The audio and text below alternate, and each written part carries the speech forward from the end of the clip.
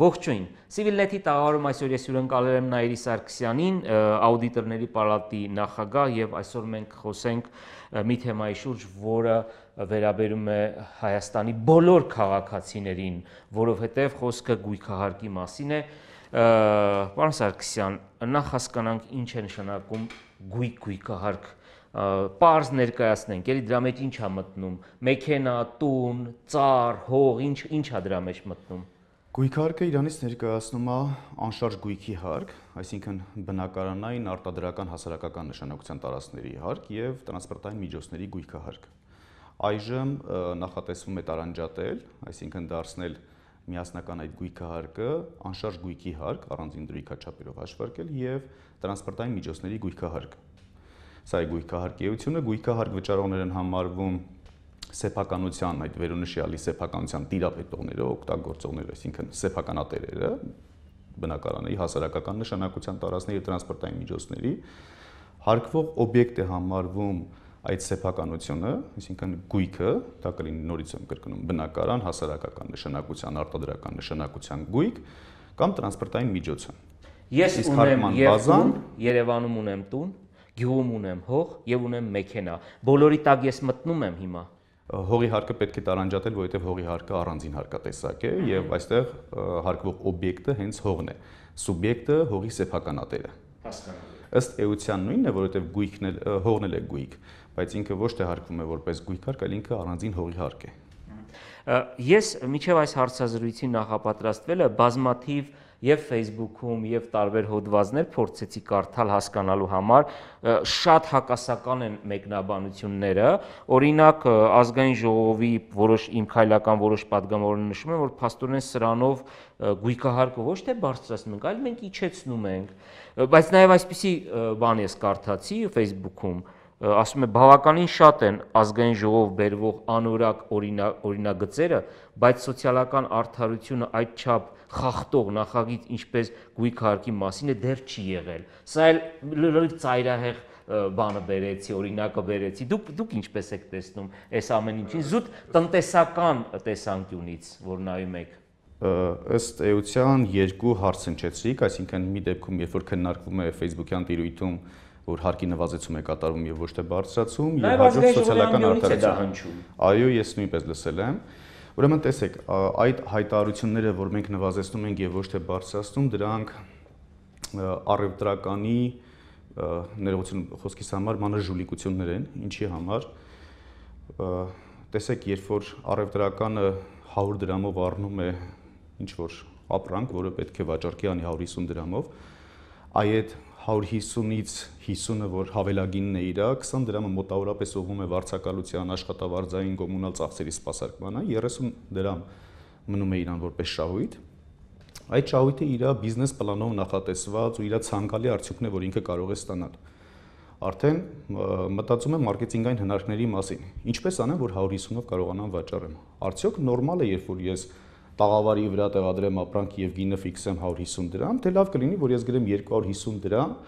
եւ այդ 250 դրամը զեղչեմ, դարձնեմ 150 դրամ, իմ վաճառքը ավելի կշատանա։ Նամանավան, որ դրա փորձը կա աշխարհում եւ ավելի վաճառքին խրախուսող իրանք մեթոդներ են։ Այժմ մոտավորապես այս տեսակ բան է լինում։ Այսինքն ինչ են հայտարարում ազգային ժողովի ամբյոնից։ Հայտարարում են, որ եթե այս նույն տեսքով մնար, ապա գույքարկ ավելի բարձր կլիներ 2021 թվականից, քան այժմ է Հիմա փոփոխությունով նվազեցնում ենք նախատեսվող բարձր դուրիքաչափերը։ Եվ պետք չէ այստեղ Հռոմի պապից կաթոլիկ Երևալ եւ ավելի բարի Երևալ ժողովրդի աչքին, ընդհանրապես պետք էր այդ օրենսդրական ակտը, որով որ բարձրացում էր կադաստրային արժեքներ եւ մոտարկում էին շուկայական արժեքներին, ընդհանրապես պետք է իր ուժի մեջ մտնելու ժամանակահատվածը երկարաձգել, ընդհանրապես, այսինքն մի հոդվածի փոփոխություն կատարել, նույն այս խորհրդարանի 3 ինչ կա, եթե չեմ սխալվում, արտահերտ նիստի շրջանակներում քննարկում էր կատարում, այդ արտահերտ նիստի օրակարգում ընդգրկվում էր մյուս օրինագիծը եւ հետաձգվում էր։ Եվ պետք չէր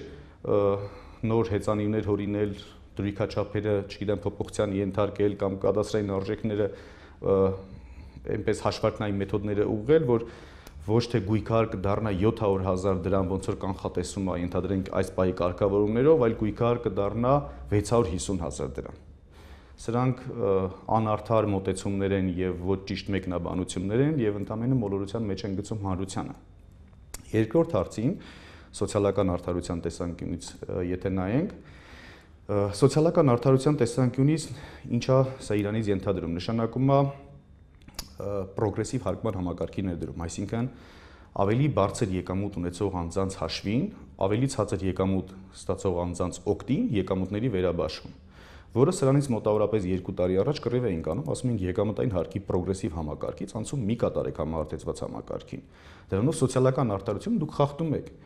Եվ իրանք հիմա բերել ներկայացնում են, ասում են գույկա հարկով մենք սոցիալական արտարությունը փորձում ենք վերականգնենք։ Բայց եթե մենք ուշադիր լսեցինք սոցիալական արդարությունը վերաբերվում էր եկամուտների վերաբաշխմանը։ Այսինքն այդ վերոնիշյալ սոցիալական արդարության հայտնի սահմանումը, որ հարուստների հաշվին, աղքատների օկտին վերաբաշխումը հիմա տեղի ունենում Երևանի կենտրոնի բնակիչների հաշվին նորաթուխ հարստացածների օկտին սեփականության վերաբաշխում ավելի པարզ կարող եք ասել։ Հիմա հիմա հիմա ավելի པարզ է փորձենք բացատրենք։ Ուրեմն տեսեք, երբ որ անձը եկամուտ է ստանում ամսական պայմանական 300.000 դրամ, այդ 300.000 դրամից հնարավոր է որոշակի հարկային բեռ սպասարկել նույն գույքը հարկի տեսքով, եկամտային հարկ եւ այլ հարկերի տեսքով։ Բայց եթե անձը տիրապետում է 100, 200, 300.000 դոլար արժողության գույքի, մենք դեռ չգիտենք այդ անձի եկամուտ ունի թե չունի։ Օրինակ, բերեմ կենտրոնի բնակչությունը եւ Հայաստանի ընդհանուր բնակչությունը։ Հայաստանի բնակչության 1/3-ը աղքատ է կամ աղքատության շեմին է։ Կենտրոնի բնակչության մոտավորապես 2/3-ը արդեն թոշակառու կամ մանկավարժ ինտելիգենցիան է, որոնք որ խորհրդային միության տարիներին բնակարաններ են ստացել կամ ժառանգել են եւ Եկամուտը նրանց թոշակի տեսքով կամ մանկավարժի աշխատավարձի տեսքով չի բավականացնում, որպիսի սпасարկեն իրենց առօրյա ծախսերը, ուր մնաց մի հատ էլ հարկային բեռը սпасարկեն։ Ուզում եք ասել, որ մենք կենտրոնում ունենք մի բնակչություն, որը ճիշտ է ապրում է կենտրոնում, բայց աղքատ է կամ աղքատության շեմին է, եւ հիմա նրանց վրա բեռ ենք դնում, ճիշտ է։ Այո, եւ եւ նույն այդ падգամավորներից հայտարարում էին, որ ոչինչ թող կենտրոնի բնակարանը վաճառեն եւ գնան Երևանից այրամասերում բնակարան առնելու բնակվեն։ Դրա համար ես ձևակերպեցի իրենց իսկ ներկայացրած սոցիալական արդարության սահմանումը արդեն իրենց մեկնաբանությունների համատեքստում ու դուրս է գալիս, որ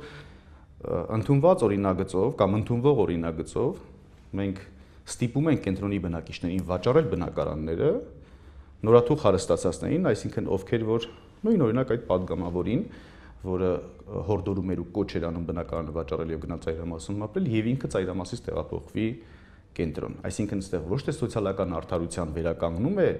այլ սեփականության վերաբաշխման հարց է առաջանում։ Սա հատուկ է կարծում եք արուն թե Գիտեք, ես չեմ կարող գնահատական տալ հատուկ է թե չէ, բայց կա པարզ ճշմարտություն։ Երբ որ բիզնես բարբերաշրջանները որևէ տնտեսությունում անկման փուլում են, այստեղ դասագրքային ճշմարտություն կա, թե ինչպես են այդ հակաճգնաժամային քաղաքականությունն իրականացնում պետական գնումների ծավալ են ավելացնում կամ հարկադրույքներ են նվազեցնում։ Լավագույն դեպքում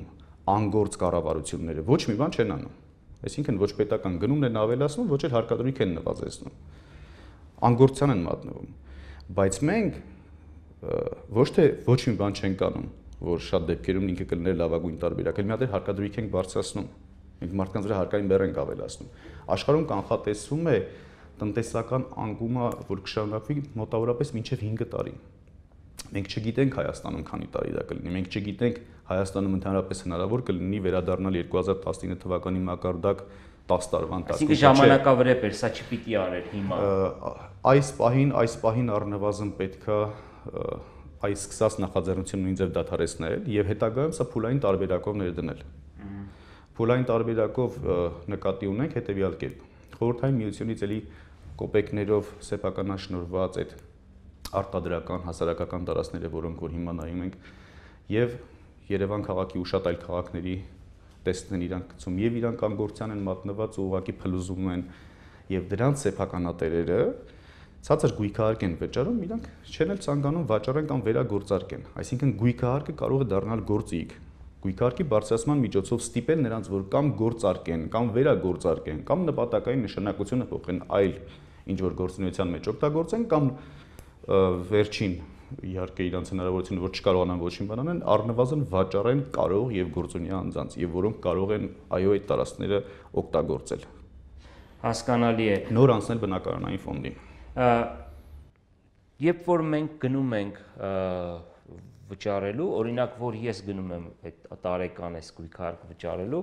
իմ մոտ միշտ տպավորություն կա, ես ասում եմ անկեղծորեն, գուցե իմ դեմ եմ խոսում, որ շատ էժան է։ Այս ինչ էժան եմ ես վճարում, չէ՞։ Տարվա մեջ շատ փոքր գումար է կազմում այդ գույքահարկը։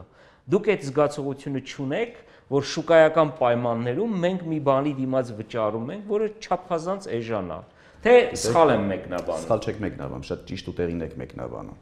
բայց այո, ձեր հարցադրմանը եկեք եւս մեկ անգամ ուշադիր լինենք։ Ձեր համար էժան է, իմ համար էժան է, բայց այդ էժանությունն ասվածը շատ հարաբերական է ինչի հանդեպ է, ինչի նկատմամբ է։ Այսինքն ձայներս տակ տեղից է գալիս։ Մենք եթե մենք ունենք կայուն եկամուտ, այո, մենք կարող ենք 10000 դրամի փոխարեն 40000 դրամ վճարել, եւ մենք չունենք մեր կյանքում շատ բան չի փոխվի։ Չէ, շատ բան շատ ազդեցություն չի ունենա։ Այսինքն մենք չունենք հավակնություններ չգիտեմ, ծայրամասերից տեղափոխվելու կենտրոնում բնակվելու, որ 10000 դրամ գույքարկը մեր վրա կարող է արդեն տարեկան դառնալ 400-500000 դրամ, եւ այո, մեր համար նորմալ է բարձրացումը։ Բայց վերցնել, ես նորից եմ ուզում հնչեցնենք թիվը Հայաստանի բնակության 1/3-ը կամ աղքատ է կամ աղքատության շեմին է։ Այսինքն եթե մենք վերցնենք, որ համատարած բոլորի վրա պետք է ազդեցություն ունենա եւ ինչը մենք կարող ենք սпасարկել այդ հարկային բեռը կամ որոշ աշխատունակ զանգված կարող է սпасարկել այդ հարկային բեռը, բայց այդ աղքատ մարդկանց դիպենք, որ հարկային բեռի տակ մտնենք, դա շատ սխալ մտածում է։ Հասկանալի է, ինչ պետք է անի կառավարությունը հիմա այս պայն ձեր կարծիքով։ Պետք է թողնի հին վիճակով, միջև լավ օրեր կգան, թե գիտեք, կա մի քանի քայլեր պետք է անի կառավարությունը։ Նախ ցանկանում եմ սկսել նպատակներից, որ իրանք նախանշում են ինչ նպատակով են այս փոփոխությունը կատարում։ Եթե չեմ սխալվում, ֆինանսների նախարարը հայտարարում է, որ գույքահարկի հարաբերակցությունը, գույքահարկի տեսակարար կշիռը հնայի մեջ կազմում է 0.2% եւ բերում է օրինակ Ամերիկայի Միացյալ Նահանգներում այդ թիվը կազմում է 2.7%, Ճապոնիայում Եթե ավելի པարզ ասենք, այնտեղ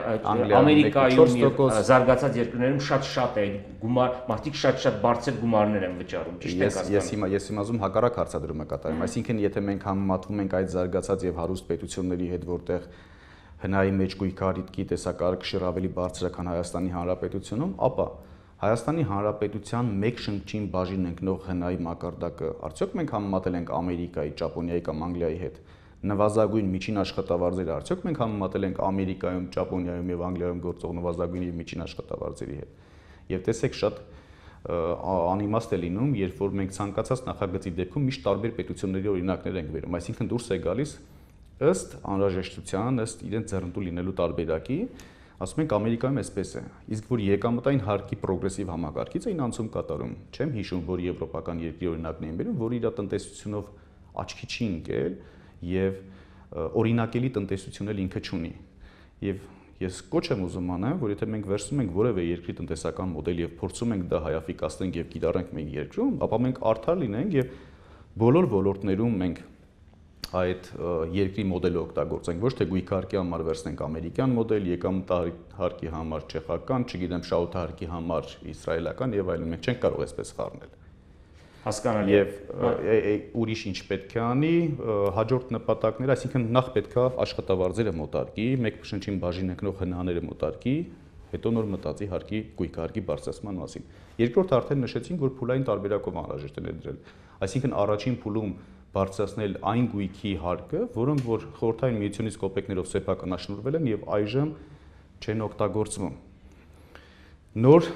սրա միջոցով, սա որպես գործիք կիրառելով գործարկել աշխատացնել, տնտեսությունը ակտիվացնել, նորանցնել բնակարանային ֆոնդին։ Մյուս նպատակը, որ բերում են, ասում են դղյակները շատ ցածր հարկ են վճարում։ Ցածր հարկ են վճարում, շքեղության հարկ ներդրեք։ Այսինքն սահմանեք որն է այդ դղյակը, ինչ ինչին ենք մենք ասում դղյակ, որն է այդ թանկարժեք գույքը, այո շքեղության հարկ դրեք, թող իրանք շատ վճարեն։ Եվ մի քանի, չգիտեմ, 100-200 այդ դղյակների սեփականատերերի պատճառով ամբողջ աղքատ բնակչությունը ընկնում է հարկային բեռի տակ։ Եվ պետության մատուցվող ծառայությունների որակն է պետք բարելավել, սա շատ կարևոր է։ Այսինքն մենք ինչի համար ենք գույքարկ վճարում կամ ընդհանրապես ինչի համար ենք հարկ վճարում։ Դա մի պայմանագիր է բնակչության եւ պետության միջեւ, որ տվյալ դեպքում մեր վճարած պետարանի միջեւ, չէ, որտեղ մեր մեր վճարած հարկերի դիմաց պետությունը որոշակի ծառայություններ է մատուցում։ Մեր սեփականության իրավունքի անվտանգություն, մեր սահմանների անվտանգություն եւ այլն։ Իսկ այ գույքահարկ հողի հարկի դեպքում արդեն համայնքային ծառայություններն են։ Ինչ մենք համ բարելաված համայնքային ծառայություններ ունենք, որ հարկը բարձրացնենք, որ ավելի լավ ծառայություն ստանանք։ Այսինքն դուրս եկած հարկը բարձրացնենք, որ ապարքեվավճարները համայնքներում ավելի շատանան։ Սրա մասին է խոսքը, թե ծառայությունների որակը բարելավենք։ Եվ հանուն արդարության պետք է ասենք, որ չկա այդ վստահությունը տեղական ինքնակառավարման մարմինների եւ իշխանությունների նկատմամբ, որ այո, այդ ծառայությունների որակները բարելավելու են։ Վերջերս լայն տարածում գտած օրինակ եմ ուզում անպայման հնչեցնել տրանսպորտային միջոցների պետհամարանիշերի գողությունը, որ տարածում գտավ լավ։ Տեսեք, սեփականատերը դիմում է, այսինքն այն պահին, երբ որ պետհամարանիշը իր արդեն գողացված է, դա իր գույքն է, չէ՞ տրանսպորտային միջոց չի, բնակարան չի, բայց իր գույքն է ու ավելի փոքր արժեքով գույքն է։ Եվ դիմում է ոստիկանության ստորաբաժանում, որ իմ գույքը գողացել են,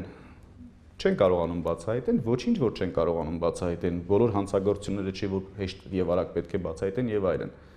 Բայց մարդուն ստիպում են, որ գնան նորից այդ նույն, չգիտեմ, 150.000 դրամ, 60.000 դրամ սակագները վճարի, նոր պետհամարանիշներ ձեռք բերի։ Այսինքն, եթե պետությունը չի կարողացել պատշաճ ծառայություն մատուցի ինձ, այսինքն չի կարողացել իմ գույքի կորստի անվտանգությունը ապահովել, ապա առնվազն որպես տուժեր տուգանքների տեսքով ինքը պետք է ինձ նվեր տա այդ պետհամարանիշը։ Հիմա դա չի անում, չի բացահայտում հանցագործությունը։ Մի հատ էլ լրացիչ ինձ ստիպում այդ 150.000-ը նորից վճարեմ։ Սրանից իմ վստահությունը պետության տեղական ինքնակառավարման մարմինների հանդեպ արդեն ընկնում է եւ ես չեմ ուզում ավել վճարեմ, որովհետեւ ծառայությունների որակը դրանից չի փոխվել հասկանալի է։ Եվ վերջում ասվում է, որ ճգնաժամի ժամանակ գույքահարկի բարձրացում չեն անի ճգնաժամի ժամանակ։ Սա ճիշտ է, չպետք է նման բան անել։ Տեսեք, ճգնաժամի ժամանակ գոյություն ունի հակաճգնաժամային քաղաքականություն, մի քիչ առաջ մենք նորից խոսեցինք։ Շատ երկրներ, կառավարություններ դա հակաճգնաժամային քաղաքականություն իրականացնում են ֆիսկալ քաղաքականության միջոցով։ Սրանք դասագրքային, տնտեսագիտության դասագրքային ճշմարտություններ են, որտեղ որ յուրաքանչյուր երկրորդ, երրորդ կուրսի ուսանողը արդեն գործնի կրքի մեջ դա կարդացել է։ Եվ այդ ֆիսկալ քաղաքականությունը իրենց ենթադրում է երկու գործառույթ՝ պետական գնումների ծավալի ավելացում եւ հարկադրույքների նվազում։ Եվ մի քիչ առաջ որ ես հայտարարեցի, ասում եմ լավագույն դեպքում այս երկու գործիք չեն կիրառում։ Այսինքն ոչ հարկ են նվազեցնում, ոչ էլ պետական գնումների ծավալ են ավելացնում։ Եվ այո, եթե հայտարարվում է, որ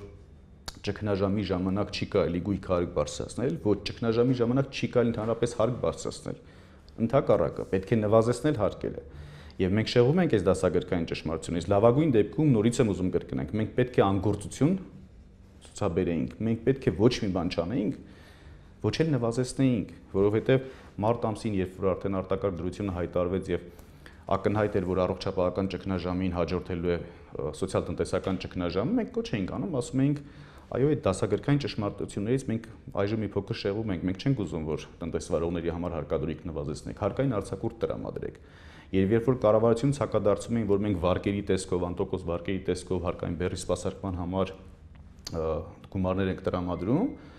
մենք ասում ենք, որ արդյունավետ միջոց չի։ Մեր ասած ընդամենը 6 ամսով 2019 թվականի առաջաշատ շահութարկը հետաձգեք։ Շահութարկի կանխավճարները, որոնք որ նախորդ տարիների արդյունքն են եւ այս տարի արդեն գումար չկա, հետաձգեք, չլսեցին։ Անցավ 3 ամիս, իրենք կատարեցին իրենց վարկային վարկավորումները շատ փնթի ձևով եւ վարկը կամ տրամադրում էին ուշացված, որի պատճառով տնտեսվարող սուբյեկտը տուժեր էր վճարում, ուժ վճարելու համար, Շատ դեպքերում ասում էին պետական բյուջեում փող չկա, հետո զանգում էին հետևից ասում են բայ կներեք հանգարց ոչ միտեղ չհնչեցնեք այդ խոսքը, որ պետական բյուջեում փող չկա եւ այլն։ Մի մասը արագ ստացավ, մի մասը չստացավ, մի մասը շատ ուշ ստացավ, լրացիչ այդ ստանալու հաշվին դուժեր վճարեց եւ արդեն 2 օր առաջ ընդունեցին շահութարկի կանխավճարների երկրորդ երամսյակը ներելու օրինագիծը։ Այսինքն 3 ամիս կոչ են կանում։ Այս մարդիկ չեն լսում չեն քննարկում 3 ամիս հետո կիսով չափ հասկանում են, որ ճիշտ են ասել։ Մի մասը արդեն իսկ ներկայացված հարցադրումներից կամ պահանջներից ու հորդորներից կատարում է, այլ մի մասը արդեն այնքան փնթի ձևով են կատարել, որ ոչ թե օգուտ են տվել բիզնեսին, այլ վնաս են տվել։ Հիմա նույնը վերադառնամ հարցին։ Այո, տնտեսական ճգնաժամի ժամանակ չի կարելի հարկադրույք բարձրացնել, կապ չունի դա որ հարկի տեսքով է։ Այո, պետք է լսել քննադատողներին, պետք է լսել մասնագիտական հանրությանը եւ պետք չի առավել եւս ազգային ժողովի արտահերտ նիստ հրավիրել, որ արագացված ձևով գույքը հարկը բարձրացնեն։ Հասկանալի է եւ շատ-շատ կարճ։ Հայաստանի տնտեսությունը այսօր ինչ բառերով կարող եք գնահատել, ինչ վիճակում է Հայաստանի տնտեսությունը ես մի անգամ այդ հարցին պատասխանել եմ հետեւյալ կերպ, քանի որ առողջապահական ճգնաժամի մասին եւ առողջապահական տերմինոլոգիայով ասում էի ծանր կայուն, իսկ հիմա ծանր անկայուն, որովհետեւ չգիտենք բժիշկները չգիտեմ ոնց էին դրան ասում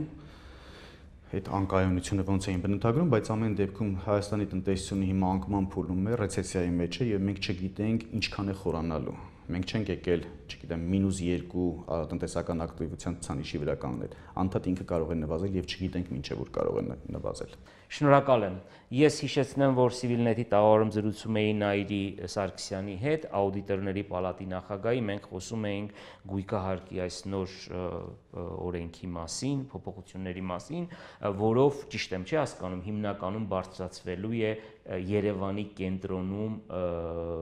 անշարժ բոլորի գույքարկն է բարձրանում, բայց ավելի ակնառու ազդեցություն թողնելու է կենտրոնի բնակիչների վրա։ Կենտրոնի բնակիչների վրա։ Շնորհակալ եմ պարոն Սարգսյան, շարունակեք հետևել Civilnet-ին։